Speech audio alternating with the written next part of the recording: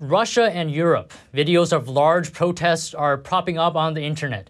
People in countries like France, Moldova, the Czech Republic, and Germany appear to be protesting the economic damage Russian sanctions have caused. In the Czech Republic, thousands of protesters chanted, Resign, resign, while calling for the government to exit NATO. The Czech government had previously agreed to strict sanctions after Russia invaded Ukraine.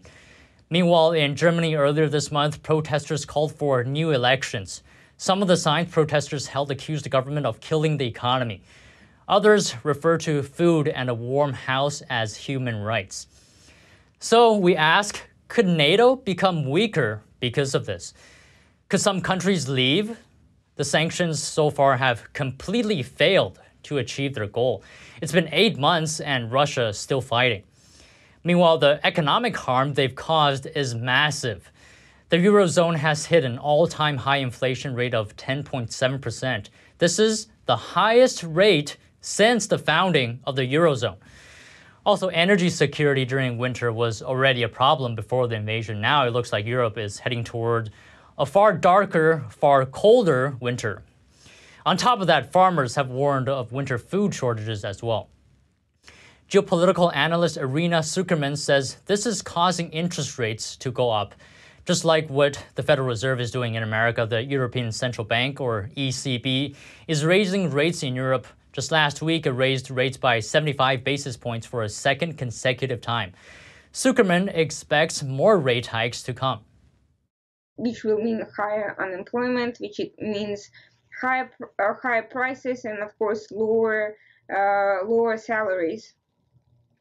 And uh, as a result of uh, additional interest uh, rates hikes, more austerity measures, lower consumption rate, uh, it's uh, there's an effort to stimulate savings, but if you're already poor, you can't really save all that much. They've created this dependency on Russia. Now they're asking uh, their populations to to pay for that without really explaining what they are going to do different. So, with the situation so bad, is is NATO in trouble?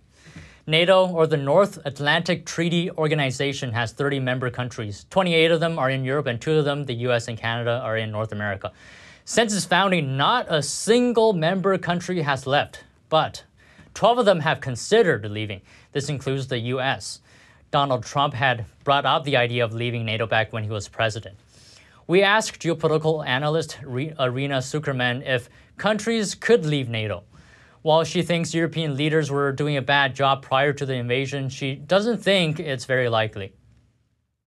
I don't think the governments of those countries will necessarily listen to groups of protests who by no means represent the majority of the populations. In fact, I think the war actually strengthened NATO. More countries wanted to join NATO as a result of this, and I think most people understand Russia's danger to the economies, to their way of life, Although Tsukerman doesn't think countries will leave NATO, she says it can still be weakened from within. This is especially true because so many countries are economically dependent on Russia, especially Turkey.